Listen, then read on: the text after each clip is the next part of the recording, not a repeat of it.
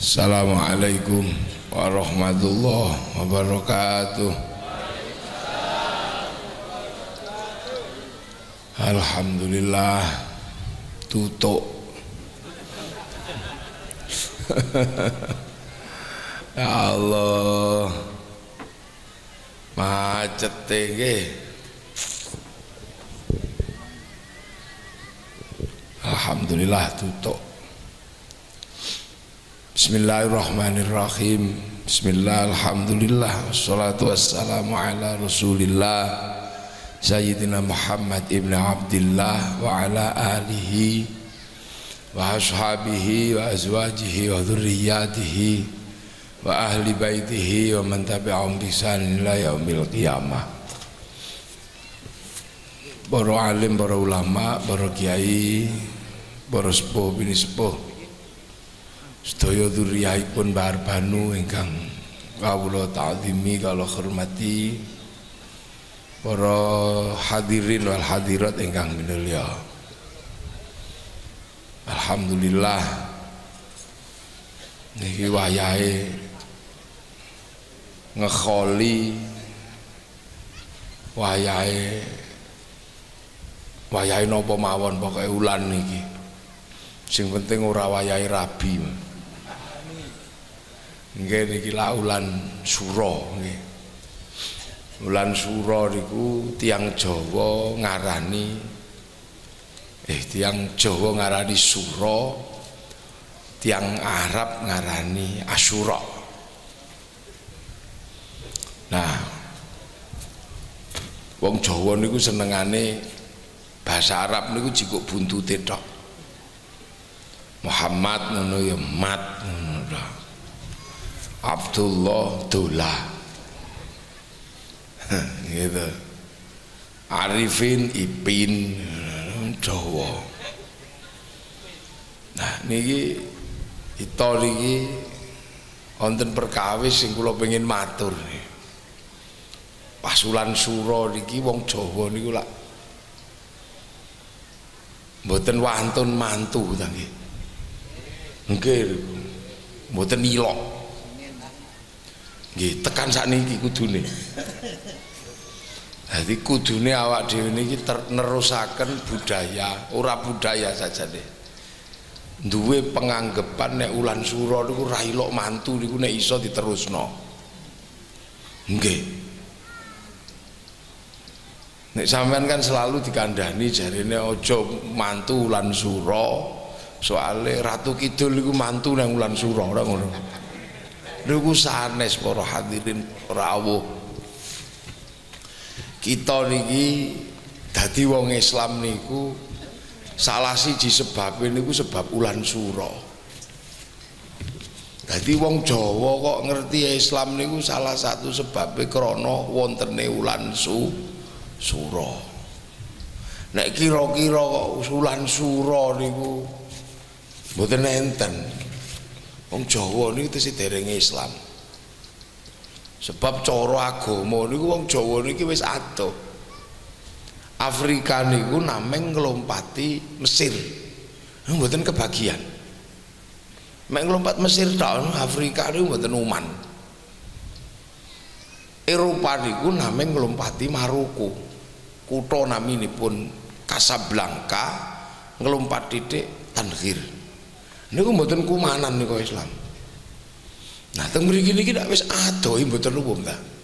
Numpak pesawat mawon 10 jam. Mbok pesawat mung 10 jam. Jarake adoh, rupane siji karo rupane Nabi. Mriko ganteng, mriki pesek.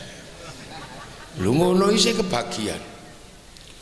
Nah, sing nyebabke awak dhewe kebagian Islam niku salah siji dan faktor niku ulan su sura jadi Islam niku rak king Arab. Terus pindah Madi king Makkah pindah Madi Madinah. Nah saking Madinah niku dibeto kali mantune Nabi naminipun Sayyidina Ali. Teng pundi? Teng Basrah. Basrah niku Persia saat ini sekitaran Iran Irak mereka mereka digeser teng mereka Nah, terus teng mriku Sayyidina Ali niku duwe besan. Raja Persia naminipun Rustum. Raja Persia niki mboten Islam, Majusi. Tapi saking banget saene kelakuane Sayyidina Ali, Raja Rustum niki pengen besanan kali Sayyidina Ali. Akhirnya ngapek mantu Sayyidina Husain Raja Rustum nih. Lahir Sayyid Ali Zainal Abidin. Jadi gue nah Sayyid Ali Zainal Abidin ini Sayyidina Husain sing entuk rojo Persi Persia. Mula akhirnya terus wong Persia melebu Islam. Begitu wong Persia melebu Islam wis mboten nyembah geni tapi genine wong Persia niku lak nek disembah niku geke bangunan dhuwur diukir ditata apik dibangun apik pun manaro nah begitu wong majusi niku pindah Islam. Genine niku dibuang lah manarone niku digeleng ngarep mas masjid. Lah angger wong delok manaro ngarep masjid kok apik. Akhirnya kabeh wong pengen bangun mana manaro lah. Akhirnya sampai meriki jenenge meno. Menoro niku. Niku yang majusi jadi kita cerita nih Loh. Akhirnya Islam ini medal. Yang mereka pun betul usah, betul usah, betul usah, betul usah, betul usah, betul usah, betul usah, betul usah, pun, ya, engkau sore engkau bengi mawon, ya, betul usah, pun. Nah, datang meriku niku, eh, datang meriku niku, akhirnya Islam berkembang di luar Arab. Karena berkembang di luar Arab apik pertumbuhannya. Wong Persia itu pinter-pinter. Islam tumbuh dengan baik. Lah bareng ngoten niku eneng konflik perang antara nih kelompok Bani Umayyah kali Banu Hashim teng Madinah. Akhirnya gelem boten gelem. Nggih Sayyidina Ali niki wang wangsul dilalah kedapuk nerasakan Sayyidina Utsman bin Af bin Affan. Nah, Sayyidina Utsman bin Affan ini sedo. Akhirnya digentosi Sayyidina Ali. Tapi intrik politik dereng rampung.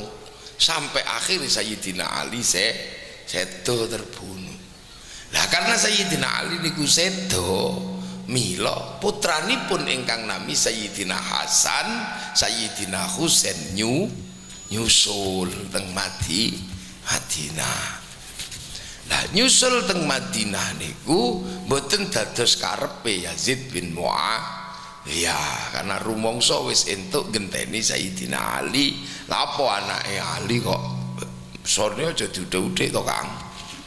Lah apa kok Lho dadi lapo kok duduk-uduk mboten. Lapo kon Bali cara wong mriki. Iki wis teku. Lah persaingan politik ini nyebabaken napa? Konflik antara Yazid kali Sayyidina Hasan, Sayyidina Husain. Sampai akhirnya wong Yazid berkuasa, Sayyidina Hasan terdesak sedo teng Madinah. Nah kantun Sayyidina Husain akhirnya Sayyidina Husain timbangannya tadi perkara aku tak mulai mana ae.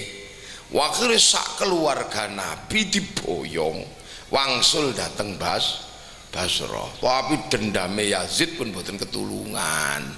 Akhirnya perombongan keluarga putune Nabi ini diuber ngangge pasukan bersenjata. Nah kemberiku pas kenek niku pas tanggal 10 Muharram Muharram utawa 10 Asu Asyura. Bareng kecekel dienteki nang nggon. Putu-putune Nabi telas sedaya tengri. Tengri ku tanggal 10 Asu Asyura. Lho niku lho mula wong sak donya zaman semono. Nek ulan sura niku ora wani pesta mboten wantun gawe seneng sen. Seneng mboten kok krana Nyi Roro Kidul man mantu. Lho iki lho ya. Iki tak dunungno perkarane supaya napa? Supaya awak dhewe iki mboten dadi wong goblok. Boten itu bentuk hormati wong Islam sak dunia zaman biyen. Sing ora hormat 10 syuro karek Wahabi tok. Wong Syiah teng mriku nek 10 Asyura niku mbacok-mbacok awak. Sebab nopo? Wong Syiah niku wong Persia. Keluargane Sayyidina Husain bendorone mati kok gak iso ngrewangi. Lho niku nek cara wong Jawa jenenge bela Pak. Pati mula mbacoki awak sedaya liyane sak liyane wong Syiah niku biasane damel bubur asu asu rok bubur abang pu putih bubur abang minangka simbol gete bubur putih minangka simbol balung Nah, teng mriki sing kathah niku santunan anak ya yatim mulan Sulu mula niku dadi niki mboten enten hubungane karo Ratu Kidul mantu mboten enten. Lha ngene iki lho. Dadi niku saking alus atine wong Jawa, wong Jawa. Peristiwa niku dikenang ojo ngasih dilupa dilupakan. Sebab dari pembantaian niku nyiso siji sinten? Sayyid Ali Zainal Abidin. Lah terus akhirnya Sayyid Ali Zainal Abidin buatan medal buatan wangsul teng Mekah medal wis timbangan ku paten-patenan medal gak ada putra Sayyid Muhammad Bakir Sayyid Muhammad Bakir gak ada putra Sayyid Ja'far Sodik gak ada putra namanya pun Sayyid Ali Uraidi Tambato di putra Sayyid Muhammad di putra Sayyid Ubaidillah di putra Sayyid Aisyah Naqib di putra Sayyid Ahmad Al-Muhajir Hambato di Sayyid Alwi di Sayyid Muhammad di Sayyid Alwi di putra Sayyid Ali Khalid Qasam Tambato di putra Sayyid Ahmad Sokhib Mirbat Tambato di putra Sayyid Alawi Amil Faqih tambah. Aduh medal ke Arab di putra Sayyid Abdul Malik pindah teng Mongolia mereka. Gak ada putra Said Ahmad Jalaluddin sampai Cempo Campa Kamboja Amerika. Di putra Sayyid Muhammad pindah Samudra Pase. Di putra Sayyid Jamaluddin Al Husaini Al Kabir melebu tanah Jo Jawa. Sing ilat Jawa nyebuti Syekh Jumatil Kub Kubro dan di putra Sayyid Ibrahim Asmoro dipindah Palang Tuban. Di putra Raden Rohmat Sunan Am Ampel. Lu nambah ngampel pindah Suro oh yo di putra Raden Kosim Sunandra Raja di putra Sunan Cendono Oh, tadi gue nak di putra Mbah Cengkolo, di putra Mbah Arbanu sampai. Apa niki? Dadapan. Lho gini-gini ya. Nah akhirnya mulai didunungno ojo sembrono nang bulan su suro itu kok nyiroro kidul mantu kang kang. Gila wong wong itu saking alus hatine wong Jawa. Wong bendoro putu-putune Nabi Zedo lho ngeten niki kok wong Jawa kok isih ngerti? Ya sing ngerti karek sing NU tok. Sik wis gak NU yo gak wong gak ngerti ceritane nggih ta ngeten iki diceritakno. Nggih sebab nopo? Saking Mbah Ngampel jalur sijine mandap tenggene Sunan Bu Bunang Mbah Bunang mandap tenggene jeng Sunan Kali Joko soalnya Mbah Bunang mboten diputra Mula penerusnya itu murid ini jeng nami Sunan Kali Joko. Nah, pelajaran ngeten niki diulangke jeng Sunan Kali teng murid ingkang nami Mbak Cokrojoyo Sunan Ge Geseng. Mbak Sunan Geseng mulang murid Mbak Abdul Halim Pangeran Beno Benowo. Lebah Benowo ngulang murid namini pun Mbah Pangeran Sambula lasem mriko. Nah, ngene iki diulangno ning murid namini pun Mbah Abdul Jabbar ngelirip Tuban di murid Mbah Sufyan Mbah Sufyan ngulang murid Mbah Abdul Halim. Boyolali mriko diulangke teng murid Mbah Abdul Wahid Solo 3 di murid Mbah Khairon utawa Mbah Gareng Ngeroto Purwodadi diulangaken teng murid naminipun Mbah Asy'ari diulangke teng putrane naminipun Kiai Hashim Asy'ari pendiri Nahdlatul Ulama. Lho iku saya iso Lah nek wis ra gelem melu ulama, ra gelem melu wali, ora ngerti ceritane. Lah iku kuno, ngono. Tapi nek wong NU nek iso sak iso-isone Kang, yo aja dilalekno ngene iki. Ya nek iso nek pancene anake kok gelem ditunda sampai bar suro ya bar suro yo. Aja kok wis Pak aku saiki Pak ra kuat ngempet Pak aku. Ngono yo. Entuk to nak nak bar suro nak bar sok sapar sok sapar ngono. Niki ana putune Nabi. Udu kok perkara Nyi Roro Kidul mantu. Monggo nggih. Oke, salate mundur gede. Dados kita niki sebab melu para ulama, mula ana ceritane. Sedaya niku dipun critakaken para ulama niku peristiwa napa mawon diceritakno mboten enten sing didelikno nek ulama niku mewarisi sifatnya nabi sifat tab tabligh Nun sampai no. Carane Gusti Allah niku apik ya diceritakno, elek ya diceritakno. Nek cara Gusti Allah ngono lak jenengan mboten nek kula kula misale. Di anak buah terus mbantah ngono ora wani cerita. Soalnya nopo wah harga diri iki. Mosok dibantah anak buah. Loh, tapi Gusti Allah dibantah iblis itu diceritakno kok. Gusti Allah niku nggo melajari wong niku ngopo ae diceritakno wong biyen-biyen diceritakno kabeh. Mboten enten sing mboten diceritakno ceritakno Nabi Nuh ceritakno di anak bantah ceritakno Gusti Allah gawe Nabi Adam nurut diceritakno. Duwe momongan iblis ngeyel ya diceritakno. Apa ya diceritakno? Lho sampai manuk diceritakno. Manuk bulbul itu diceritakno. Sampai semutnya Nabi Sulaiman diceritakno. Lho apa sebetulnya lho oh Gusti Allah niku nek ngulang menungso ben gak lali niku. Diceritani kabeh. Aja meneh kok ceritane tengere niku lho diopeni lho Gusti Allah Nabi Adam mudun niku kuwatir mboten iso mulih. Niku panggonane ditengeri kali Nabi Adam piyambak. Akhirnya ditumpuki watu dadi gede terus Allah nengerke niku ngangge nopo? Ngangge prasasti teng Al-Qur'an. Niku Nabi Adam sing damel tapi prasasti nih Allah sing damelke. Disebut inna awwala baiti wudi'a lin-nasi lalladzi bi Bakkatam mubah mubarakah. Terus Nabi Adam kalau Siti Hawa itu petuk kawitan penuh cinta karena kerinduan 200 tahun mboten petuk. Zaman bayang no wong kangen kok 200 tahun. Hmm, dadi akik bener. Lho kangen kok 200 tahun. Tur kangen 200 tahun urung ana wong liya coba. Saiki kangen kok urung aja 200 tahun. Seminggu ya golek bakul bakul warung kopi. Ya iki lho biyen kangen.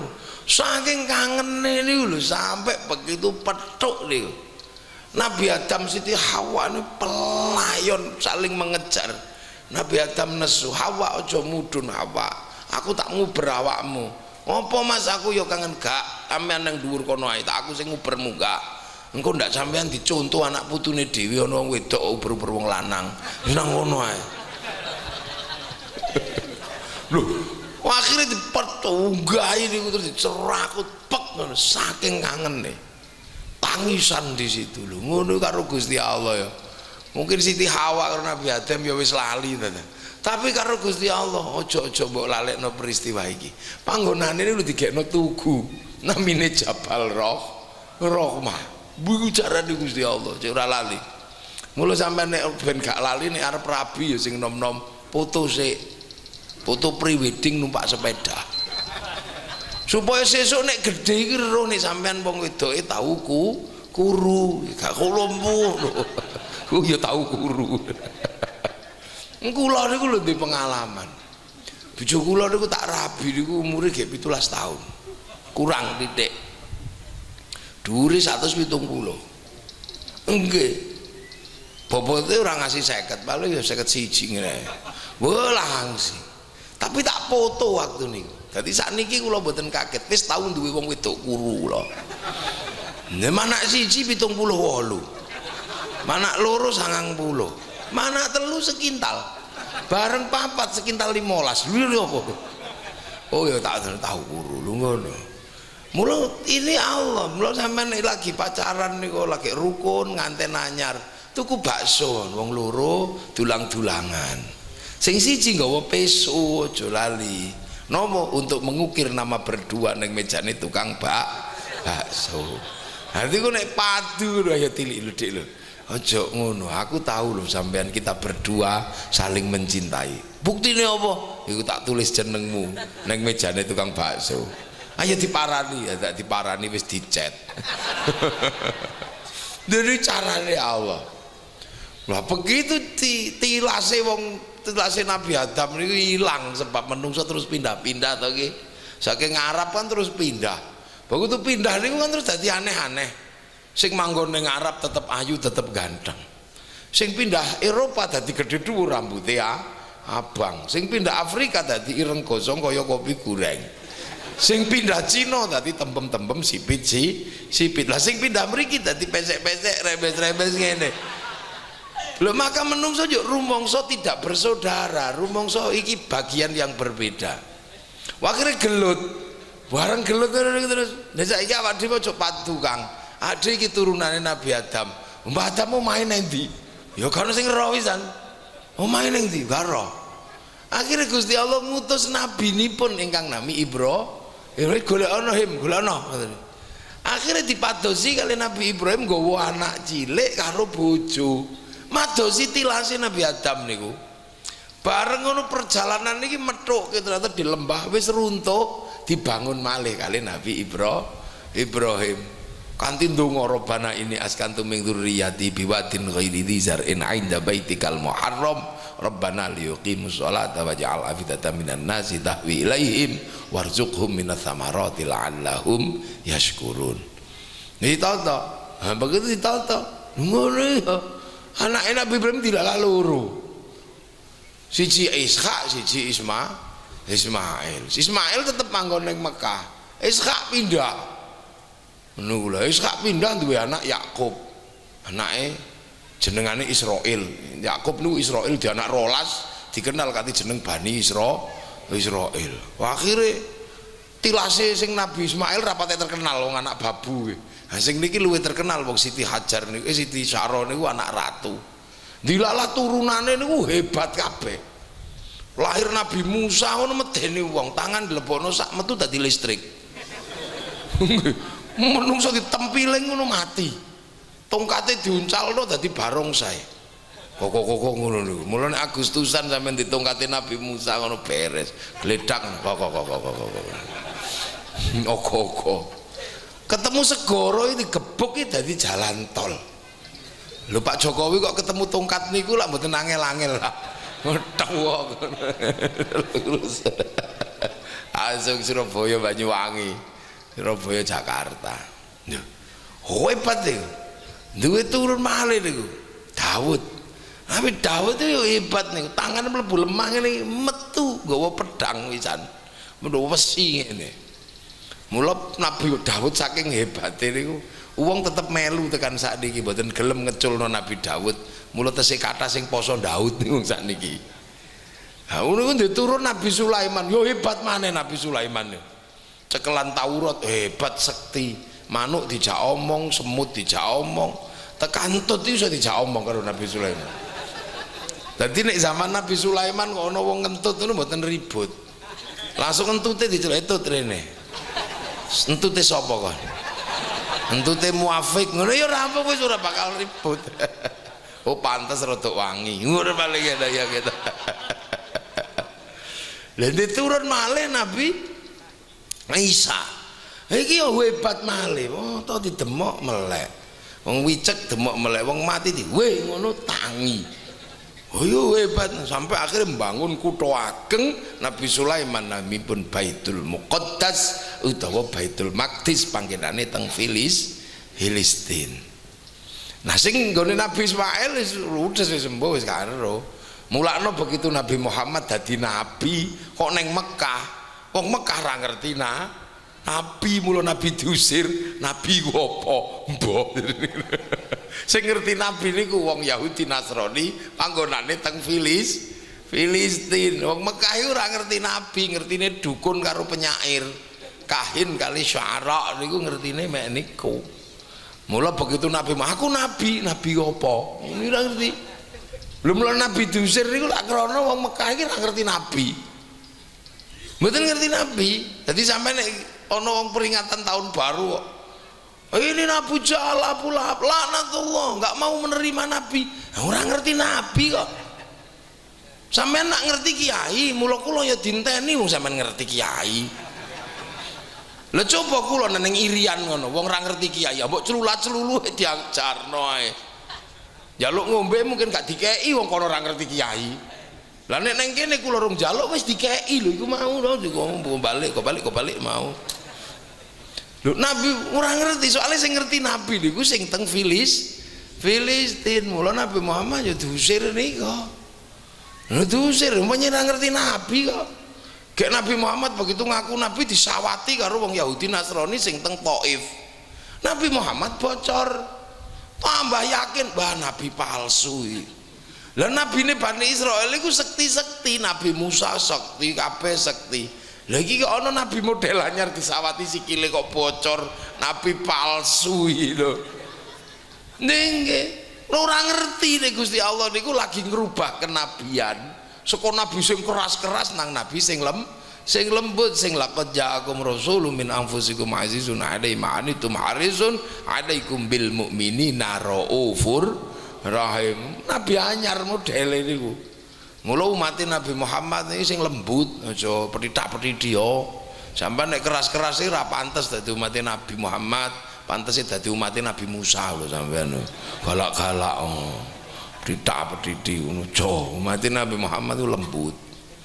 Mbak bengi tak critakno ning Surabaya. Sing petithak-petithi nutup doli ra iso. Begitu risma lemak klemek nutup doli. Lho niku lho mulane Islam niku mboten diterima ora ngerti nabi kok. setelah ditinggal Nabi Ibrahim niku Nabi Ismail itu orang ngedunke Nabi blas wisan. Nabi ini pindah neng Filistin. Jadi wong Filistin ngerti Nabi, Mekah jahili. Jahili orang ngerti Nabi. Begitu Nabi Muhammad jadi Nabi, ora ngerti. Wong Nabi Muhammad ini udah diangkat jadi Nabi niku ora ngerti. Petuk malaikat Jibril niku melayu Nabi Muhammad niku ya Muhammad weh melayu gendruwo cara wong sakniki ngoten niku. Sampai ping 3 lho malaikat Jibril nguber nabi niku. Akhirnya Nabi Muhammad kecekel cek terus ikra ora iso aku. Maca apa? Ikra ora iso maca apa? Ikra ora iso. Ya niku mula akhirnya Quran mboten diulangke teng Kanjeng Nabi ngangge lisan. Akhirnya nameng diserit ngoten mawon. Di, di bluetooth saya akhirnya Nabi dikira kesurupan loh terus ikro. Ngono digolekno dukun kali Siti Khadijah. Lah dukun sing paling terkenal namanya pun Warokoh bin Nufel anaknya Pak Nufel Siti Khadijah anaknya Pak Khuwailid. Khuwailid kali Nufel kakak adik. Nah begitu napa Warokoh anak jeng nambani dituting kali Nabi. Ikro bek semaput. Boy ini jine sak piro wala pingsan begitu tangi waroko langsung ojo ojo ojo mas. Ojo iki tuh bojomu Khadijah iki tuh edan bojomu iki? Napa iki nabi nabi apa? Ya sing kok ngerti dhewe lah suwe-suwe. Nabi Muhammad tangi ya Muhammad sampean mari petuk wong gedhe dhuwur ya. Iya aku wedi. Iku malaikat Jibril. Jibril iku sapa? Yo malaikat malaikat iku sapa? Utusane Gusti Allah iku sapa? Iku udah ngerti. Wis engko ngerti dhewe sampean sesuk soalé moro meneh. Hah moro meneh mau aku. Petuk pisan aku wedi kok moro meneh. Gak gak gak gak gak. Jadi ku gak gak gak gak gak. Akhirnya gak. Sampai akhirnya apa. Nabi Muhammad wedi angger dikandani sesuk moro meneh akhirnya angger kludik kemulan gini aku kludik ndelik. Akhirnya ono ya ayyuhal mudas mudassir. Lho niku makara ngerti nabi. Ha sing ngerti nabi wong Madinah Madinah iku ngerti nabi pinter-pinter mulo nabi disurati. Timbangane ning Mekah jenengan ra dianggep jeneng nabi pohon pindah mriki mawon.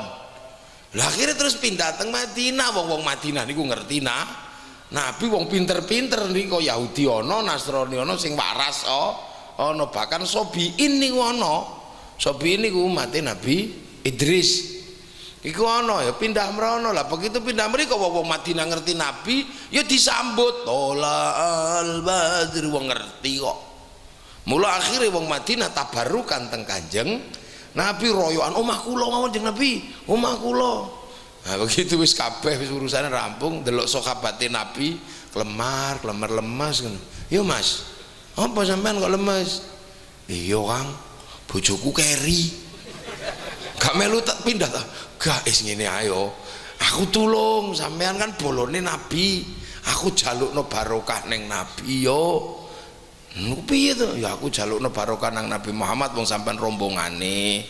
Nangko tabarukanku sampean milih bojoku sik akeh nang omah aku di wolu sampean milih sing ndi ya monggo itu kan perbincangan sahabat muhajirin kali an ansor wong tabarukan nabi duwe bojo ya kekno sing penting koncone nabi iku sen seneng. Nah sampean ra duwe sawah. Keri ning ngono. Lah aku duwe akeh pokoke aku aturne nabi ya sapa ben barokah kabeh. Sawahku garapen kurmaku kowe PN wis pokoke sing penting aku le barokah Nabi. Ya wis engko ayo purna bareng. Lah akhirnya terus disedulurke niku napa dibikin ikatan persaudaraan sebab kabeh pengen tabarukan teng Kanjeng Nabi. Nah sing ora ora entuk jatah bojo eh ora entuk jatah kebun. Takok nang pasare neng pundi Mas? Oh pasare neng kono. Aku sesuk terno neng pasar ya. Akhirnya dia dagang neng pa pasar. Lah begitu dagang neng pasar Masya Allah kaget kabeh. Sebab nopo? Ternyata pasar Madinah niku pasar internasional jalur sutra sing saking Palembang dugi Riau nyebrang Batam teng Malaka lewat jalur darat melewati nopo Uni Soviet melewati India melewati Eropa. Niku entek-entekane teng pasar Yasrib teng pasar Madi Madinah akhirnya tenggeriku petuk saanane wong wong Islam niku. Nggih tenggeriku petuk saanane wong petuk wong Cina. Wong Cina niku apa iso didol? Apa iso didagangno? Saking pinter-pintere wong Cina mula Nabi ndawuhaken utlubul ilma walau bis bisin. Lah pedagang anyar sering ketipu ning pasar. Sing pedagang anyar-anyar teko Mekah niku bolak-balik ketipu. Karo sapa? Karo wong Yahudi. Wong Yahudi niku nipani pun manjen pedagangane ulung blanti eh pinter. Matur neng Nabi jeng Nabi. Konco-konco sering ketipu. Nah ketipu karo sapa? Karo wong Yahudi lho mulakno cek gak ketipu carane ono. Pripun jeng Nabi. Kon kudu iso bedakno Yahudi mbek gak. Bedane nopo jeng Nabi? Lho gampang nek sampean pengen bedakno aku ki cilik wis dagang. Aku apal nih karo pedagang Yahudi. Cirine mesti siji. Apa? Gak duwe jenggot.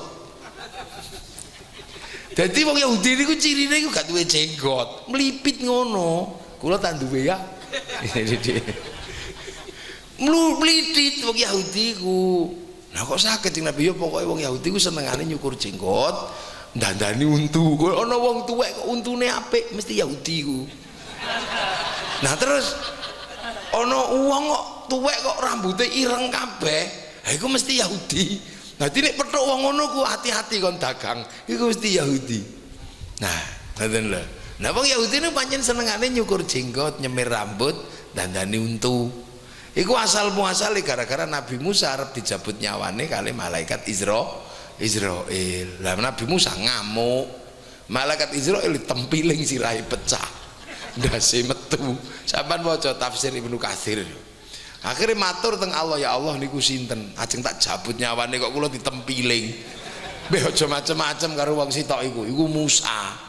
Aja menekon aku e tau ditahan tang kok biyen kita iya. Aku tau ditakoni. Ilmumu pun tek ya Allah. Gak tak kekno. Khidir golek ana nadeke gagal. Mulai sesuk nek mrono sing sopan ya ugi. Moro akhirnya malaikat Israel. Ya Musa Assalamualaikum. Salam. Ya tak tempiling menang. Ora ora ora. Ora ora. Aku ki arep jabut nyawamu. Soalnya nyawamu itu wis expired. Wis kedaluwarsa tapi aku wedi kon ku galak ya salammu bat babut bobat babut kondo sik sing apik. Lho lho kondo napa ya tondo-tondone mbok kirimne sik ben gak coba jab wis duduk tugasku. Sampean niku wis dikeki tondo untune protol rambutnya putih. Yo jenggotmu dawul-dawul ngono putih kabeh. Ya iki tandane ta. Nggih pun tak cabut ya. Ha nek ngono ya wis jabutan cabut but akhirnya dicabut lah tiang Yahudi ini pinter mikir. Hmm, Nabi Musa dicabut gara-gara jenggote wis dawa putih kabeh rambutnya putih untune protol eh tak semir nek ngono rambutku. Jarene wong Yahudi tak semir tak dandani untukku. Supaya nek malaikat Israel teko mm, rung wayahe. Ngono niku asal-asale niku sampean waca teng kitab kitab Israiliyat niku kathah. Mulane wong Bani Israil nggih crita sak geleme lho sampean nek ro critane lanang karo wedok kepuyuh ndelok ini. Maca kula we kepingkel-pingkel kok. Jare wong Yahudi niku nabi apa lanang wedok iku sebabe buah khuldi. Wohe enem. Sebab wohe enem diunduh kabeh kali Nabi Adam.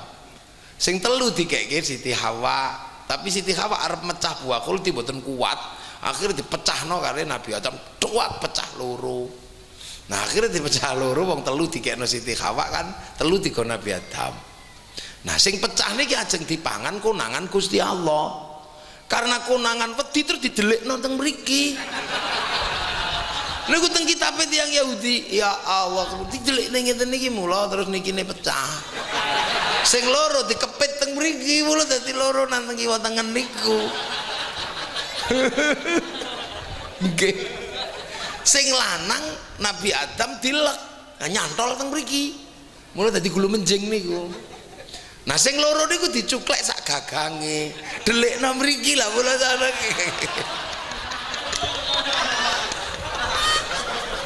Niku teng kitab Bani Israel mula akhirnya kitabnya Bani Israel itu dilarang kali para ulama kali para fuqaha riyen kangge nerjemah Qur Kan dilarang tafsir Israel sampean maca tafsir atau bari niku nggowi pingkel-pingkel kok.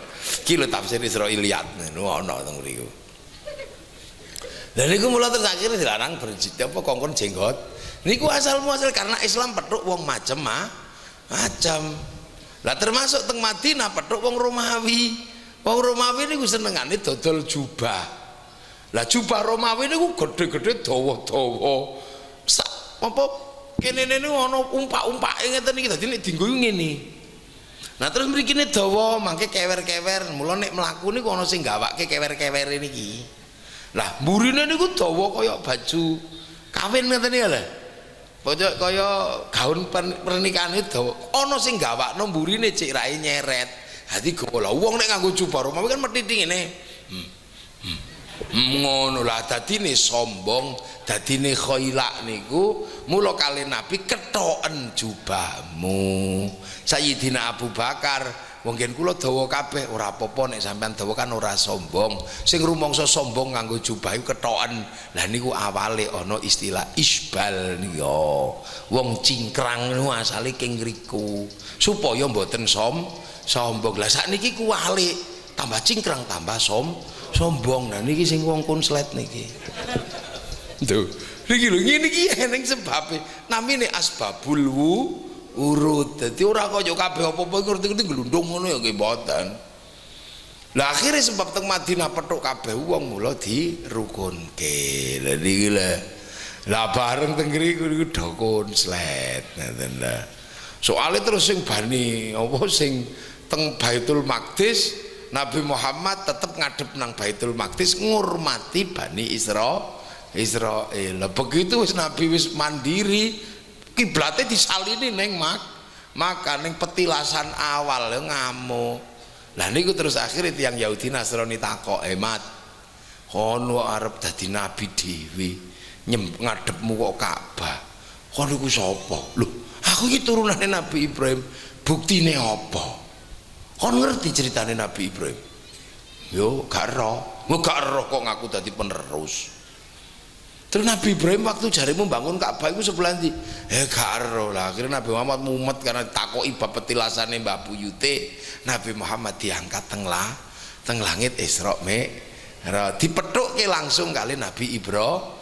Ibrahim lah. Teng berikut terus takon, Mbah, jenengan peletakan batu pertama biyen setelah runtuh itu teng pundi? Nang ngono iku. Nang ngono iku sesuk teng rono ya nek mudhun iku makom Ibrahim. Ibrahim. Lah Mbah Mail sebelah pundi? Mbah Mail sebelah kono iku. Nah iku sesuk teng rono jenenge Hijir Isma Ismail. Mbah Hajar ning pundi Mbah? Lah Mbah Hajar iku pentol kono pentol kono kele mloya mlayu sesuk teng riya jenengane Sofa Mar Marwah lah jenengan lembalangi setan teng pundi banyawati setan. Nang kono siji loro telu. Sesuk teng rono kabeh. Nggih Mbah nah Ka'bah niku asline nggene sapa to Mbah Wong dudu tek kuwi tek mbahmu Adam, wong ning kono nang takok dhewe. Mbah, napa iku tuku aku pertama medun tak kei watu. Malah karo-karo Gusti Allah ditengerke dadi inna awwala baiti wudi alin nasi lalladzi bi bakatam mubah. Ini Jabal Rahman iku napa, Mbah?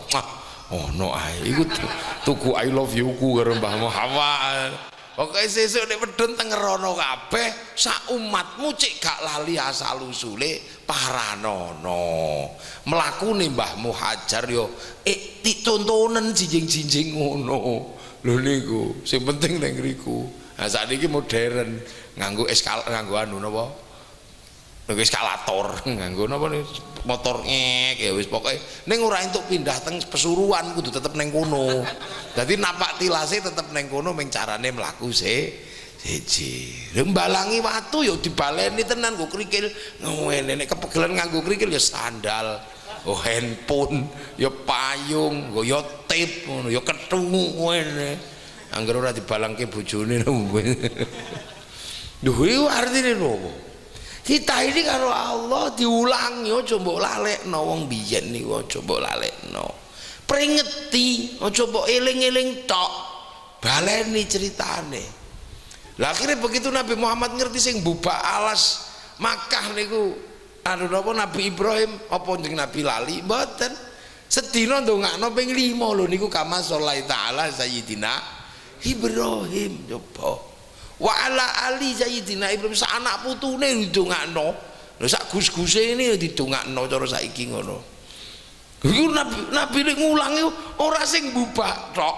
Sak anak putune iki lho. Mula kadang awak dhewe niku lali. Eling yaine lali kalau duriya duriyae karo bapakne sampean gak no gedang karo putune kadang ning pinggir dalan gawa es sampean wis lali. Iku putune guru iku buyute guru. Nabi Muhammad lek ngulang mboten ngoten niku sak anak putune wong sing berjasa niku kongkon menghormat berarti wa ala ali sayyidina. Lamun toh wis dadi Yahudi Nasrani tetep kongkon donga no lamun toh anak putune bebuyutane dhewe niki dadi buat dadi berandal ngono tetep kudu didongakno aja terus lali aja kok bongko ngono aja. Wis dadi Yahudi Nasrani itu lho tesih didongakno wa ala ali sayyidina Ibrahim. Lho mula awak dhewe karo Yahudi Nasrani niku ya sakno bendina didongakno. Mula ra petuk ning masjid petuk nek lunga ha haji napa urusan pesawat? Mesti petuk karo wong Yahudi. Soalnya Yahudi pinter gawe pesawat pesawat. Nah Pak Habib kon pesawat wera dadi. Soalnya jenenge tetuko sing teko ora tuku-tuku sing tuku ora teko-teko. Karo Nasrani awak dhewe yang bedina petuk urusan bojo lho ya Nasrani. Agar wong wedok rupane wis rada kusem ngono golekno pedak Prancis. Wong Yasroni kok parfum Prancis. Wangi-wangi meneh. Ha nek pedak dadak apa yo? Beras dideplok ya blunteng kabeh Loh, loh Nabi Muhammad itu tinggalannya ya ora dilalekno. Tinggali Ka'bah ngono ya didadekke kiblat. Wis ngono ben setahun pisan dium diumbah ulan Muharram itu diumbah irami ditutupi kiswah ganti kabeh. Lho mula niku sing akhirnya dadi pelajaran awak dhewe wong ora ketinggalan Ka'bah. Tinggali Mbah Banu niki kampung, mula awak dhewe kadang bersih kam kampung bersih deh desa niku pelajaran teng mriki. Nek teng mriko bersih Kak Ka'bah wong tinggali Ka'bah awak dhewe tinggali kampung bersih kam kampung. Tinggali keris yang ngumbah keris. Lha mulane ulan surah kan ana sing ngumbah keris ana sing ngumbahake gitu. Ah, ana sing ora ketinggalan apa pemeng awak tok ya adus tahun pisan riyo apa ulan su suro iki biasanya tinggalane pengikuti Mbah Suro. Lho. Lho ngeten iki lak pelajaran-pelajaran king mriku. Lah mula pelajaran agamane Allah sing teng Makkah. Niki terus mut medal terus keng dugi Persia ya, sampai akhirnya dugi tanah Jawa. Jawa. Lah begitu pedok wong Jawa ya Islam ya kudu kudu paham wong nabi niku rahmatan lil alamin kudu ngerti wong Jawa niki kelasnya ora kelasnya muridé na nabi penderek nabi ning kelasnya muridé ula ulama. Lah mula ulama eh ya kudu ngerti sing dimong wis dudu wong Arab ngoten lho. Nek sing dimong wong Arab kongkon maem driji telu saged wong tese kurma tese ro roti tekan dadapan lah sing dimong ni panganane soto. Nganggo driji telu ya kocar ka acer teng mriko nek sing dimong wong Arab tesih iso ngangge unta wong tesih enten unta teng mriki. Oh lahire kebo sapi ya nek kurban kebo sapi. Maksa kurban unta ya dicekel poli polisi wong nyolong untane kebun binatang. Teng mriko wal jam, jamaah mriko tesih iso diulang ngangge jubah. Wong tanahe tesih tanah ah Arab. Lah teng mriki dijumpahi ya gak sida tandur gak sida der derep. Apa meneh nyingkal ngono yo mula teng mriki pakaiane biasa wedok-wedok sing ngoten niku Dene iki carane. Mula Islam niku begitu petuk wong ngeten ya siji. Pomene petuk wong Jawa. Zaman semono sapa sing ra mumet petuk wong Jawa? Bangsa dengan peradaban paling maju di dunia. Penakluk dua per tiga dunia iki wong Jawa. Duwe keraton jenengane Mojo Pahit lho. Wong Jawa niku saking pintere lho. Omong sak omong niku mbulete ora umum lho ilmu bahasa niku lek petuk wong Jawa jebol ilmu bahasa ndi? Wong Arab ngarani sego niku rus wong Inggris rice. Nah wong Jawa niku nek isih teng sawah cilik jenenge wine gedhe titik jenenge pari. Nek dipanen jenenge gabah wite jenenge damen. Nek sing digiling jenenge ber beras, kotorane dedeg. Lho, gigiling cuwil-cuwil menir. Buntel godhong lontong, buntel janur kupat. Lonjong titik lepet, diublek-ublek bubur. Silite gosong intip. Mboten di dibungkus sego. Gondol cecek siji upo. Lali gak kepangan garing karak. Lho. Itu bulet nih nek ora pinter ilmu bahasane. Oh bubar ngadepi wong Jawa. Ngongkono meng rus karo rais ngono tok. Lha iki bahasa tok, nggih bahasa. Wong Jawa ngarani wong Arab ngarani sakoto tiba. Wong Jawa ya engko sik delok tibane Kang. Nek mengarep lambene lemah tok nyosop.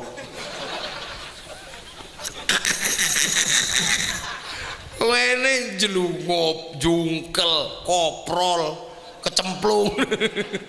Mengburi geblak, mrene glempang, mrene ambrek lho. Ya delok nek para kiai nendra. Ngisore titik sare, ngisore titik tilem, kekasih kita bubuk. Wong biasa turu, copet micet, batang, lho deko. Iki bahasa. Mangkano wong-wong itu sedang galau nek berpikir Jawa. Jerman itu ahli logam dunia. Nek wis mikir wong Jawa ora tok uteke. Sebab wong Jawa niku duwe keris. Keris niku peksine sunduke niku logam bintang. Meleleh di suhu 15.000 derajat. Sementara nuklir di untuk apa melebur baja di Jerman hanya sanggup mengangkat panas sampai 7000 derajat. Lah biyen geni 15000 derajat iki geni apa? ya aku ya karo nah, alat musik wong Arab alat musiknya terbang saka kayu karo ku kulit wong Arab itu gitar kayu karo ta tali lha wong Jawa alat musiknya gamelan terbuat dari logam hanya bangsa yang menguasai ilmu pertambangan yang maju dan penguasaan metalurgi yang mapan mampu membuat alat musik dari logam. Oh, lah ngene iki bangsamu. Lah Islam zaman saya Jumatil Kubro di putra Said Ibrahim, di putra Mbah Rahmat niku sing didepi wong kaya ngene. Di putra Mbah Qasim sing didepi wong kaya ngene Mbah Khotib kaya ngoten niku. Nggih Mbah Cendono kok ngoten niku. Lho, Nanti putu jenengane Mbah Ba Banu sing didepi kira-kira gak kirik tok biyen ning kene iki sian. Lengge. Nah zaman semono kok wali-wali ngeten kok kufar kafir kufar kafir. Hadi pecok karo wong Jawa pisan. Mula untung sing teko niku wali. Coba nek sing teko Khalid bahasa lama, bubar bisa. Mugi wali-wali nih Gusti Allah sing teko ngadepi wong Jawa sing ora wedi. Wali niku kan wong ora wedi blas. Wong wali niku ala inna auliya Allahi la khaufun alaihim wa lahum yahzanun. Ora wedi wali niku ngadepi kirik ora wedi. Lho saiki sampean bayangno zaman wali teko mrene wong Jawa isih udo.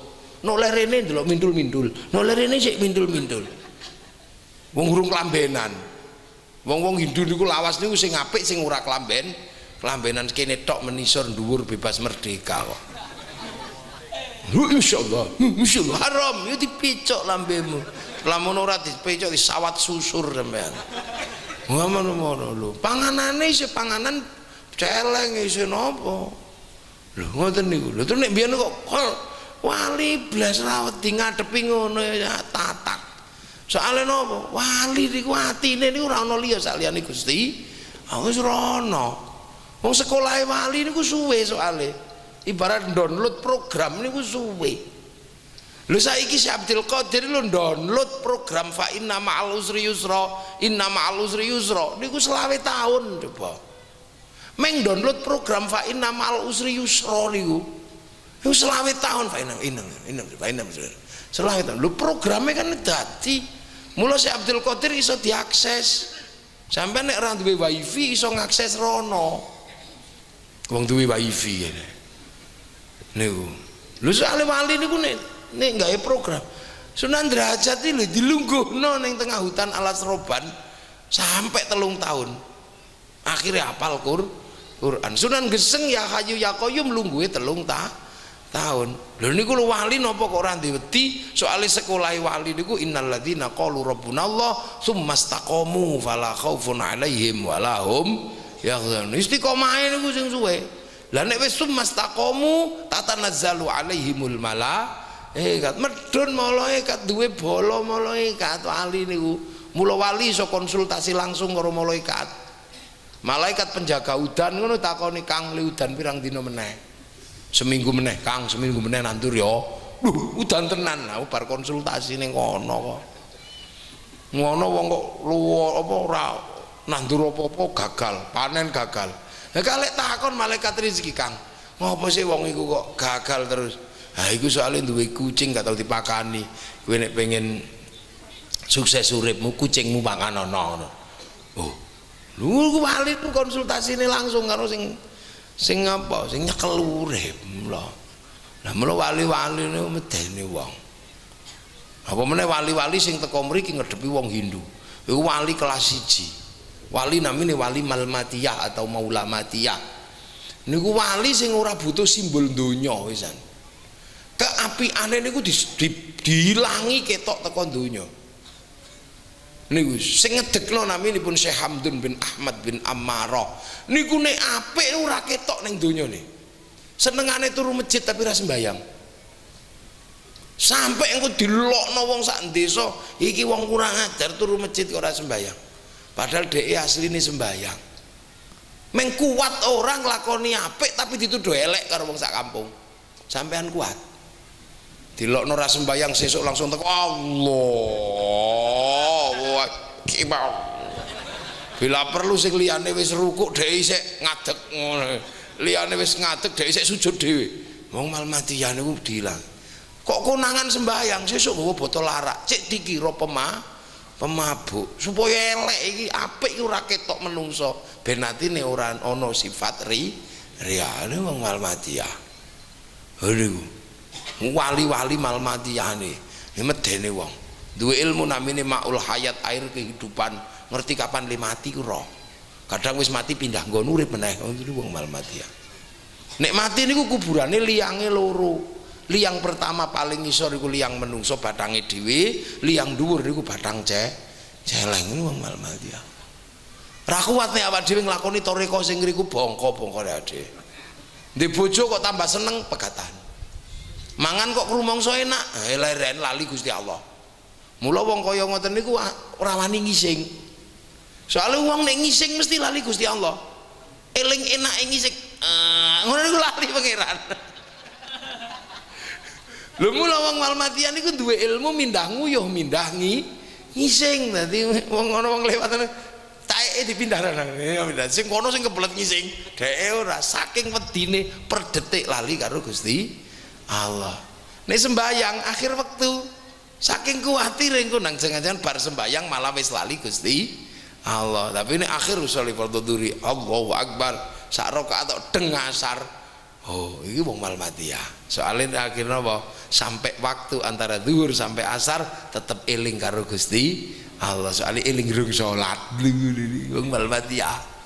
Mula kathah kiai-kiai sepuh niku mundur sembayange nah Wali kedua niku torikoe niku torikoh akmaliyah.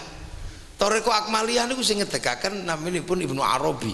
Nulis kitab napa? Kitab Fususul Hikam kali Futuhatul Makkiyah. Niku torikoe nyang-nyangan. Jadi Sunan Dadi Saridin niku kongkon maca syahadat, aitin syahadat. Mboten. Syahadatin mboten. Liyane asyhadu alla ilaha illallah mboten. Saiki Saridin syahadatin mboten. Pitung tahun niku lagi gelem syahadat ayo den syahadat tapi melayu menek klopo kon dhuwur klopo asyhadu an la ilaha illallah wa asyhadu anna muhammadar awake ditibakno pung ceprak ndase dhisik ning ngisor. Eng saridin bunuh diri. Kongkon maca syahadat malah bunuh diri. Ternyata napa? Saridin tangi tengel-tengel ngene. Lho den kok urip meneh? Ana aja ngawur ta wong kongkon syahadat kok menek klopo lah kula niku syahadat niku ya kudu tak buktekaken jeng Sunan. Gusti Allah iki sekti ana tenan apa ora? Nek wis ngeten niki kula percaya tenan karo Gusti Allah wong kula buktine ya ora mati kok. Nah sampean wani mbuktekno ngono. Ora wani. Niku namine akmaliyah. Wis ngerti hutan niku kobong wiritan ya hayu ya qayyum. Begitu genine teko, niki karek nyang-nyangan kuat ndi yakine awak dhewe geni ngobong wong utawa ya hayu ya qayyum niku jumenenge wong sebab lantaran Gusti Allah. Lah nek kira-kira kok kuat ya hayu ya qayyum manjing geni liwat. Tapi nek kok kira gekek kobong gekek kobong nang mlayu kok niku. Niku akmalia latihane ngoten. Mula wong Jawa niku sing kathah niku akmalia niku. Senajan wis ora ngerti wis ora ngerti tarika iki nglakoni akmalia karo malma iya wong Jawa niku malmatia simbole rada rapat diketokke. Mula santri ngono simbole ketune ya mengireng ngene iki sarungan. Gitu kabeh ngene-ngene iki tok ora tek ubel-ubel ora ngene-ngene kok. Wong Jawa ya wis ngene iki. Santri Lirboyo niku ketunan putih mboten oleh. Soalnya kok ndak lali pangkat rumangsa kiai padahal isih san santri. Nah sing model anyar iki diulang ngaji wis diupel-upeli gede akhirnya begitu ayah diulang ngaji ra iso mlebu wong wis bebel sing akhirnya konsulat-konsulat niki lho akhir-akhir niki lah niku ta apa nggih. Lho akmalia niku nyang-nyangan. Ngenyang tapi apa sih nyang sampean sakniki kita saya saged nglakoni akmalia pun damel omah-omahan yang sanding ril sepur niku. Nang maca la haula wala quwata la haula wala sampai telung tahun. Engko nek wis la haula iki rumangsa manjing eh lah ana sepur liwat nang ngadeg ning tengah-tengah ril la haula wala quwata nek sampean yakin manjing tenan sepur mesti mandek. Embu bane kempes embu sopire kudu ngoyo kita mesti mandek. Tapi nek kira-kira keke ketabrak keke kita melayu kok. Niku akmalia niku membuktian ngoten niku. Mula wong Jawa niku ana ilmu kesaktian niku akmalia misalnya terus apa maca apa Waja'alna min baini aidim syadda wa min khalfihim syadda fa aghshayna fa la yubsirun. Dilalawak dhewe diuber polisi. Mbuh maling mbuh apa. wiritane niku polisi liwat ning kana waj'alna min baina aidim sadda wa min khulim nek yakin tenan mesti ra weruh polisi niku tapi nek kekero kekero nang mlayu wae niku pedang niku lak mestine nyuwek nyuwek daging niku lak hukum alam begitu tapi wong diulang diulang la haula wala quwata la haula begitu ana pedang teko ya ora mempan ya ting ngono. Lah nek kekek suwek kekek ya suwek tenan.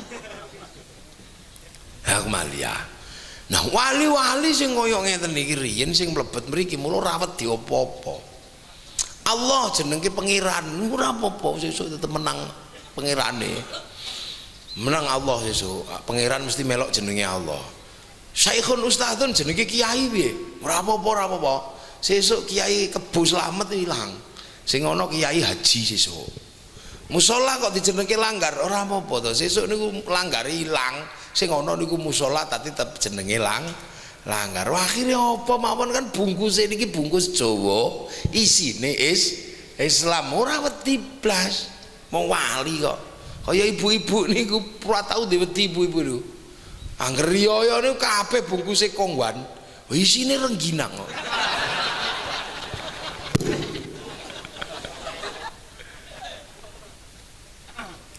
Ini ini ini mula para wali ini ya Allah. Ini ini wali ini nyambut gawe. Petuk petuk wong Jawa gak diwedi blas. Ana sunah mata kaji haji ku jaran goyang tak goyang-goyang ngono ya nggih ngoten iki diislamno sisan Bismillahirrahmanirrahim. Sunah mata kaji haji kujaran goyang tak goyang. La ilaha illallah muhammadur rasul.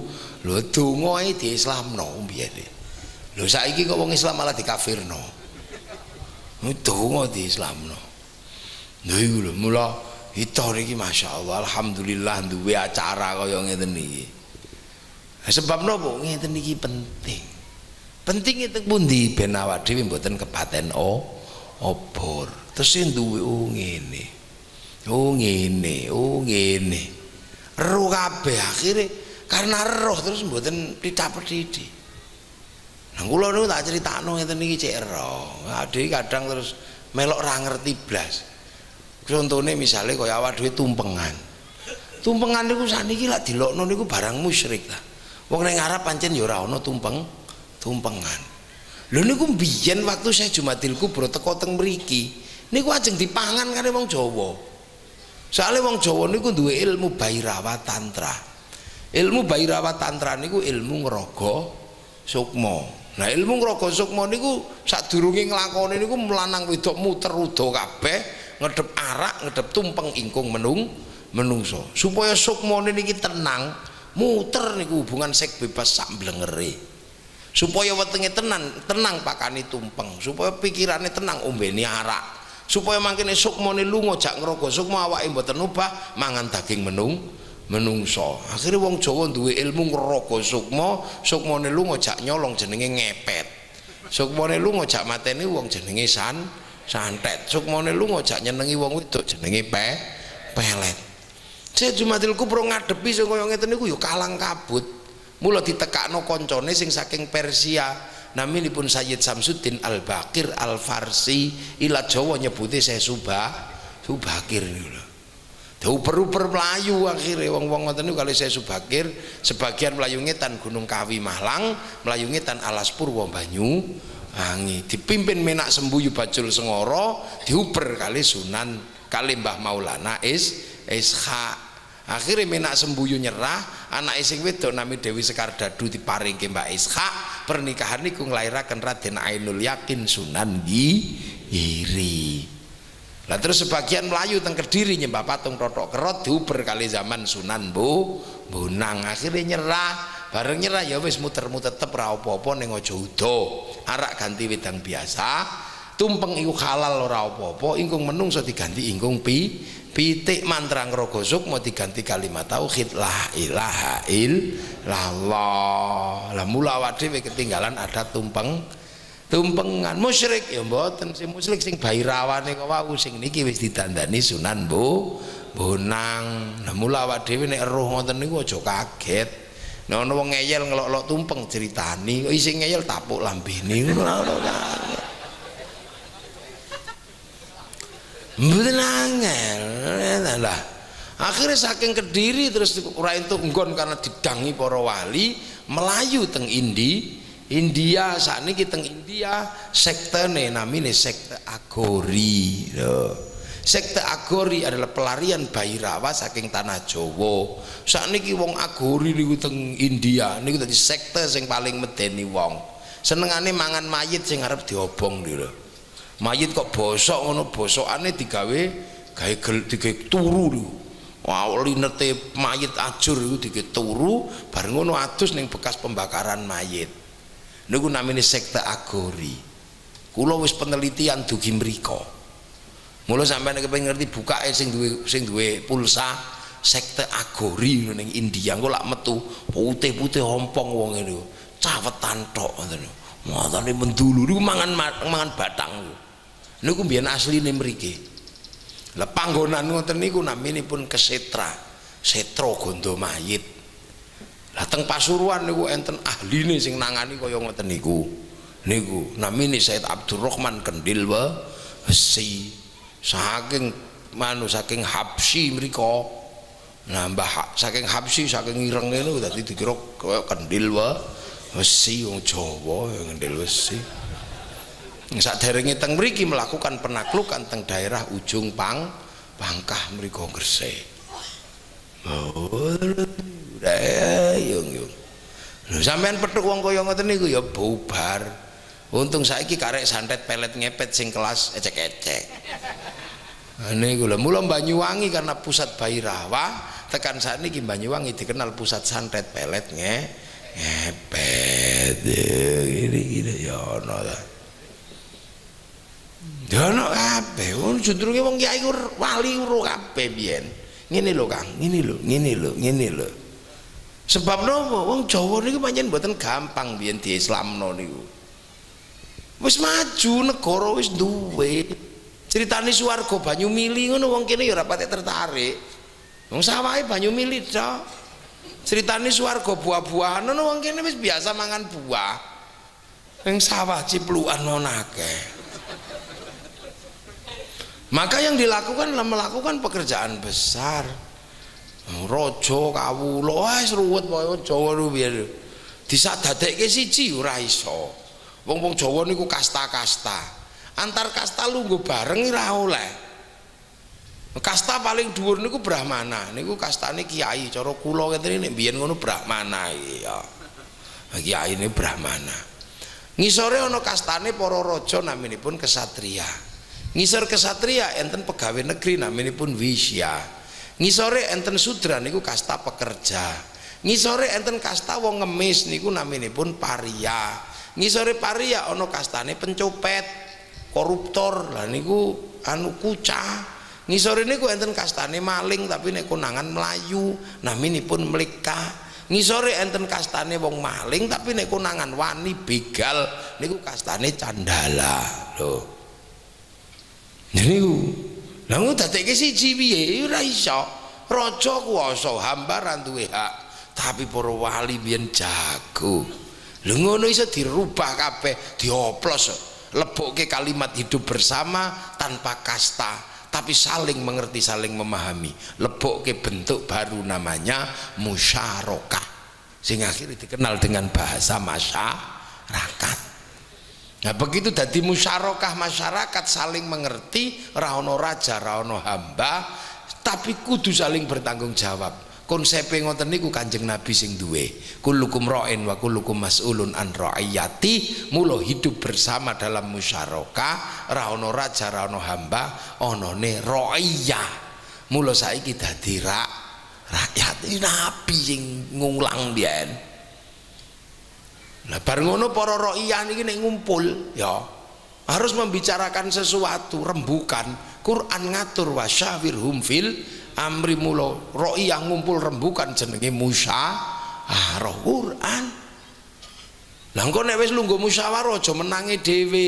Lungguh musyawarah ora menangi dhewe niku lungguh teng panggenan namine maj majelis tafassahu fil majalis fafsahu yafsakhillah lah engko nek arep pemimpin pemimpin harus mewarnai semua ngayomi kabeh dengan kekuatan ngayomi nang Quran disebut wasi'a kursiyus samawat mulo kedudukan ro'iyah nek di pemimpin jenengke kur kursi kursi presiden kursi bupati Lho ngono iku lho saiki dadi bahasane negara majelis permusyawaratan ra'i ra'iyah. Dadi nek sampean pengen ngerti di mana negara Islam yang sanggup mengambil kalimat ra'iyah menjadi sebutan warganya ya meng ulama Indonesia.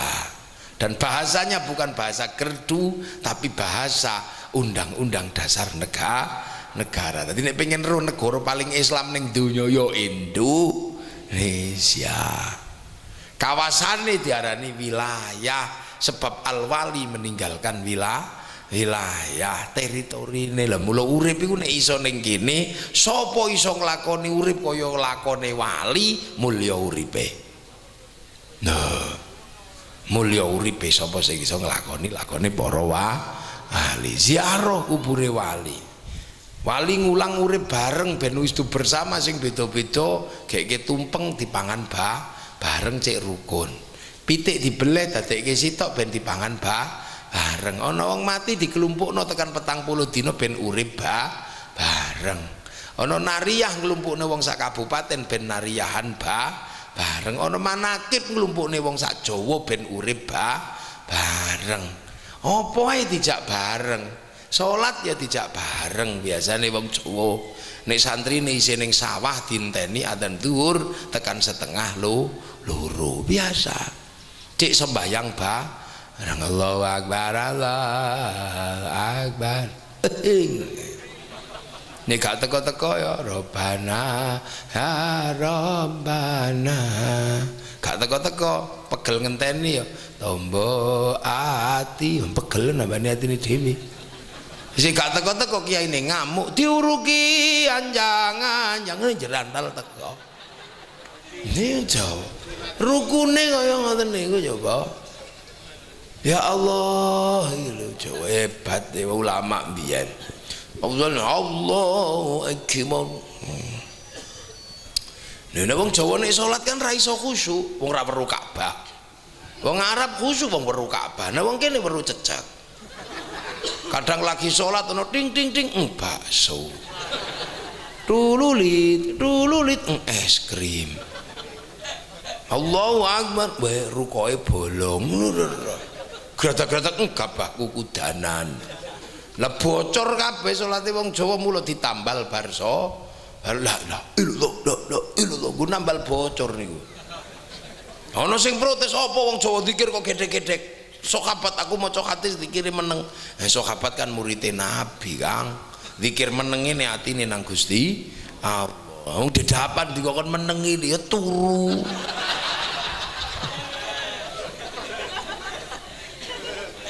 Wong jamaah sih ije mula ana ahli sunnah wal jamaah. Di sunnah iki wal jamaah. Sampean kiai nggawa sunnah kudu bareng karo jamaah. Jamaah. Poso, sahabat poso, wong kene poso. Cuman posone wong mriki kan mboten pati khusyuk. Metu omah didik delok pelem pengen mangan. Delok ngarap kan pedho padang pasir dadi khusuk posone ora apa-apa. Mriki metu titik bakul dawet. Metu titik klopo, metu titik blimbing. Ah timbangane posomu gak khusuk turu. Makri kiai-kiai ngongkon santrine turu. Isi ngeyel tangi didalili akhirnya naumuso imin ibadatun. Turune wong poso ibadah. Akhirnya turu. bareng turu ratangi tangi kiai ini sepi akhirnya tuh kok nomor corone wong gini ta hebatnya kata dia tawaf. Apa haji? Langsung lungo kesasar. Ora tau roh. Itu akhirnya diulang sih neng alun-alun pasu ruan. Lambai kalau hajan mau ngedidi nggak kain ikhram. Dungane dungo haji padahal kak bayi triplek. Terus diterno nang Surabaya ning asrama wong sak bis ngeterno. Teng asrama. Sing ngeterno di minggu kebun bina binatang. Itu biasa Berarti gitu kita ya Allah di ulama hebat hebat. Nah ulama ini ku warasatul ambi ya pewarise nabi. Lah sampean niku marisi nabi melu ulama ning ra petuk kanjeng nabi. Piye carane mendekatkan diri pada Rasulullah? Dijak solawat solawatan lah mula ana sing solawatan desa sebab umat ini desa. Yang Nabi Muhammad lahir ana ing Mekah dina ne rolas mulut tahun gajah niki wong desa. Sing santri ya. Marhaban ya nurul aini marhaban marhaban. Santri sing enom. Sing tuwek ya. Halo ya nabi. Salam. Halah oh napase wis cekak nah sing ishari ishari ini tanakal tawa assalam oh ini sing ibu-ibu yang dangdutan Ya Rasulullah salamun alaik. Nah ibu-ibu. Ya sana nih Indonesia. Sing senengane India ya. Ya Ya Rasulullah salamun alaik. Ya Rafi Asya Nah nyantal Al-Fata ya jiratan Rametu Alami awal ju Nahnu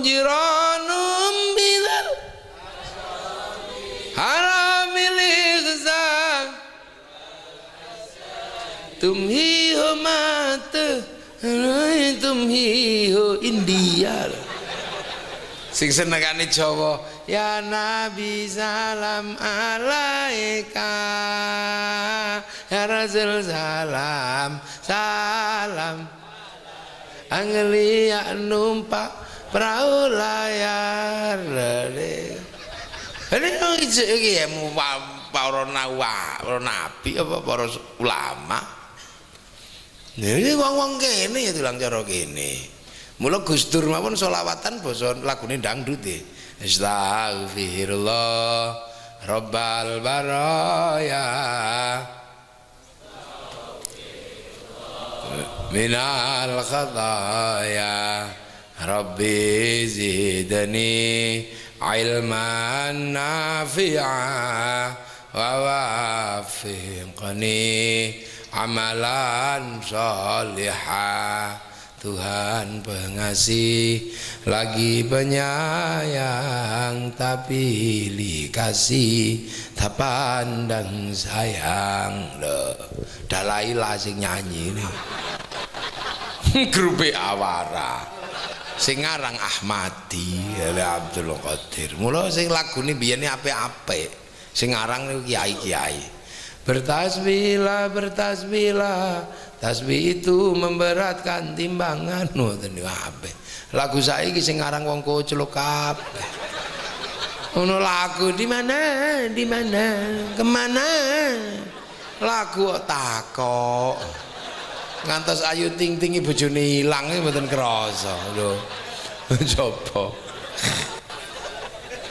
utawa ana lagu lagu ning pasuruan ora ana suarane mek bokong tok. Lagune inul iya. Sampai kiai sa Indonesia geger perkara inul.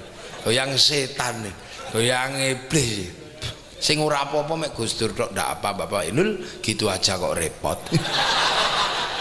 Akhirnya Mbak Inul teko ning Gus Dur nggih Gus. Ngene akhire kula timbali Kiai Fuad Gus Dur timbali ning buntet gawa ning buntet.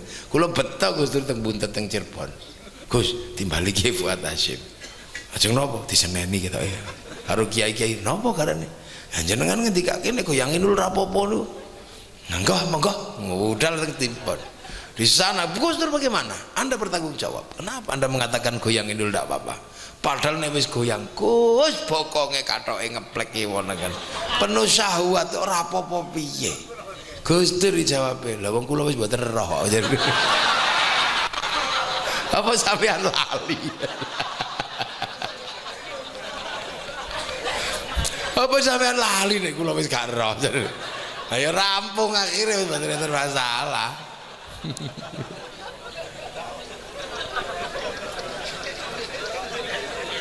Lha kaya ngeten iki lho ya Allah, nek kae Gusti ya kan. Apa-apa kok gitu aja kok repot. Ya akhirnya ya, ya alhamdulillah terus bareng ya kan apa-apa wis beres.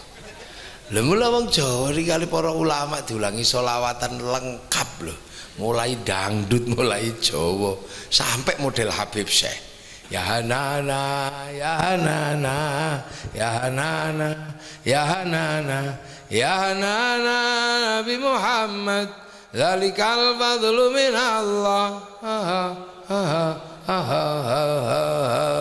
Gok gok gok Ya nana nana Kulo ra iso agar nirono kok-koke niku mesti mesti gagal. Nek ngarepe ketatotoan pun apik kula. Ngarepe. Wis ayo dites. Tapi pas gok-gok niku kok gagal kula padahal sing larang niku gogok niku gagal lho ngono mula akhire bocah-bocah wis kowe nek ra iso nirokne nek teko-teko ning lapangan kono go gendira ya. Akhire masih ramune ya. Ya ngono.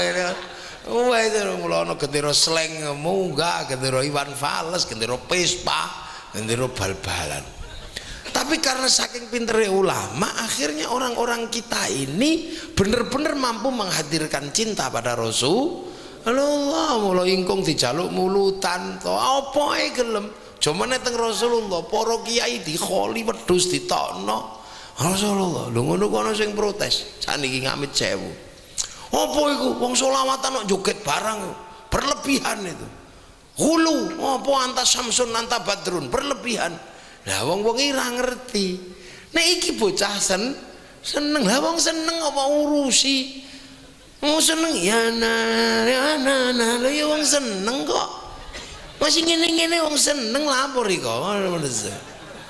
Nggih ta. Wong seneng niku lho weruh pacar isih ado, ana yes ngono kuwi biasa. Ye, biasa. Terus wong seneng niku mesti ngelem-ngel ngelem seneng kok dek wajahmu seperti purnama jerawat pedot ya tetap seperti purnama mau seneng lo makanya ojo kaget nih ono anta samsun anta badrun wong kalimat cinta kok jadi dibahas? Wong kalimat cinta kok mbok bahas? Dek sehari aku tidak bertemu denganmu mati aku. Lah sampean bahas ya musyrik mau ora perlu sedino mati apa meneh tahun 80-an kita punya kalimat cinta sing ra kena dibahas? Ingin ku mati bila tak ingat dosa. Ingin rasanya ku pulang ke rahim ibu iku sampean bahas yo gelut. Ndasmu sama gede ini harus balik rahim ibu.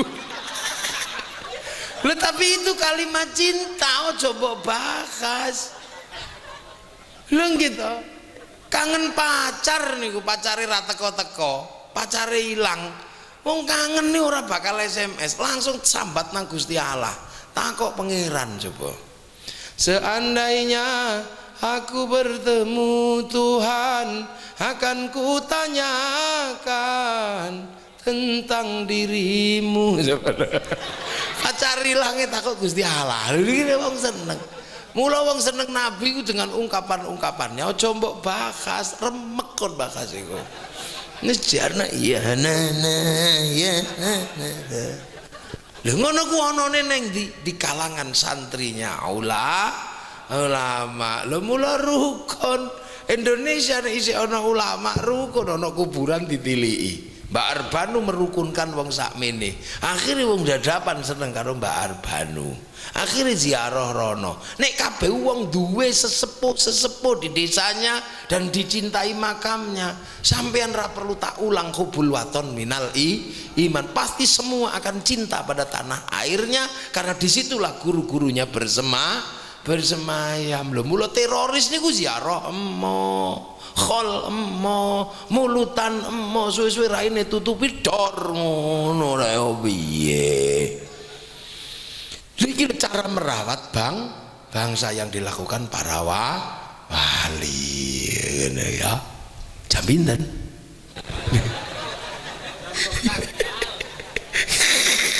waduh ya Allah ya Allah ya wis ya aja terus-terus ngoten kok iki lho padha iki lho jois pokoke iki muga-muga sedaya barokah. Nggih kita duwe bar baru bejo sampean. Di makame wong alim karek sampean online runu mawon. Sampean kan ra duwe paket data. Ora tau gawe paket kok. Lah mula senengane golek wifi gratisan. Barokah barokah barokah. Betapa hebatnya ulama-ulama kita. Wong diulangi online lho. Saiki ngakses data niku lek yo nek nang komputer kan kudu ngerti password e. Lah biyen awak dhewe diulangi ila ruhi ila hadro hadro. Diulangi ngakses program to niku sajane. Wong awak dhewe nggih program dhewe ora kuat. Wong wiritan ya Allah ya Allah ya Allah ya Allah.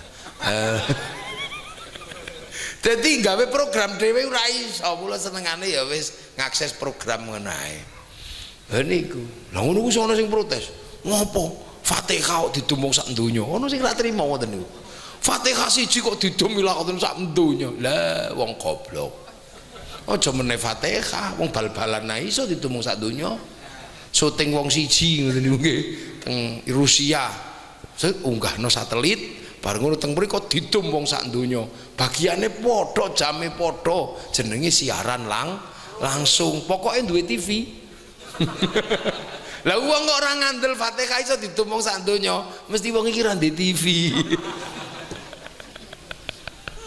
lho iki lho ulama iki nek ngulang cespleng hebat kabeh lek ulang eh ya iso ben diterusno meneh ngono mulu macet nih wong Kula saking Bojonegoro. Bojonegoro ngaos bar subuh. Dadi bejo sampean bagian esuk. Bagian yamene, Bojonegoro bagian bar subuh. Nah, nek wae ngaos tanggal 23 Gus. Iya. Ning jam pinten? Jam 09.00 ora iso entek kabeh wektu kuwisan. Isoku bar subuh. Nggih mboten napa-napa bar subuh. Dadi mau esuk ngaji bar subuh. Lah sakniki teng mriki mangke badhe dhuwur teng Tropodo niki bar niki teng Sidoarjo mangke badhe isya persis teng Sidoarjo tesian dalu tesi telu teng Sidoarjo kabeh sesuk-esuk pun teng Jepara hmm yo ngono tenang mawon kula niku bagian ngluyur sampean bagian lungguh ning mriki untunge sampean ngerti kia kiai tadi lungguh ning kene nah wong Mekah ra ngerti nah nabi ya Allah cowe sesake duwe agamane Allah wis kecipratan matur nuwun aja ribut ya pokoke wis kecipratan agamane Allah wis apik. Misale kaya salat sakmono akeh ana wong kok kecipratan maghrib tok wis apik wis aja dinokno ana sing kecipratan setahun pisan riyaya wis alhamdulillah. Ana sing kecipratan seminggu pisan alhamdulillah. Ana sing wis gelem sembayang kok isih bandar dadu ya alhamdulillah. Ana apik ana eh elek wis ngono mawon. Quran sakmono kathahe awak dhewe wis kebagian Yasin alhamdulillah. Ana sing wis kebagian kulhu alhamdulillah. Ana sing nameng kebagian Bismillahirrahmanirrahim. Rahim alhamdulillah. Ibu-ibu wis kebagian nun alhamdulillah. Hadis sakmono akeh kebagian loro alhamdulillah. Kullu bid'atin dolalah kali innamal a'malu bin niyat wis matur nuwun donga sakmono akeh alhamdulillah wis kebagian loro donga mangan karo donga ngising. Wis matur nuwun disyukuri mawon wis aja ribut ya. Wis pokoke. Dadi nek ana tanggane wis gelem sembayang kok ngerti-ngerti sesuk iku ana tuku togel eh didongakno muga-muga sing menang sembayang sembayange togele ka alah eh bar sembayang kok adu jago. Dongakno sembayange sing menang adu jagone sing ka alah lu ngono tok ae lho bar sembayang kok kreketi galengan dongakno sing menang sembayange kreket galengane ka alah lu ngono apa didongakno? Ae wis ribut ya Wis niki dungane wong Islam niku anggere disyukuri mengki ditambah kali Gusti Allah. Lho, kudu lho ya gua urip enak. Al-Fatihah. صراط الذين أنعمت عليهم غير المغضوب عليهم ولا الضالين آمين. بسم الله الرحمن الرحيم الحمد لله رب العالمين. حمدا ناعمين حمدا شاكرين حمدا يوافي نعمة ويكافئ مزيدا. lakal hamdu kama yanbaghi li jalali wajhikal karimi wa 'azimi sultanik اللهم افتح علينا فتوح العارفين بحكمتك وانصر علينا رحمتك. فذكرنا ونسينا يا ذا الجلال والإكرام برضاك. يا الله بشهادة رسولك ورحمتك يا الله. اجعل أولادنا وذرياتنا تلامذنا على المعالي الخير عباد القيام قيام الإيمان. لآبائنا وأمهاتنا مشيخي مشيخنا وجداد جداتنا الذين سبقونا بالإيمان. ونخوص النهر غمها أربعنا يا الله اللهم اغفر لهم وارحمهم وبما فعلنا اللهم لا تحرمنا أجرهم ولا تنظرنا ولهم اللهم اجعل قبر مدام هذه الجنان اللهم اجعل مدام رجاء من قبر محمد رسول الله بعقيدة رسول معنا ارجع إلى ربك راضية مرضية فادخلي في عبادي وادخلي جناتي ربنا آتنا في الدنيا حسنة وفي الآخرة حسنة وقنا عذاب النار صلى الله على سيدنا محمد والحمد لله رب العالمين الفاتحة اهدي المغضوب عليهم ولا الضالين آمين اهدنا الصراط المستقيم.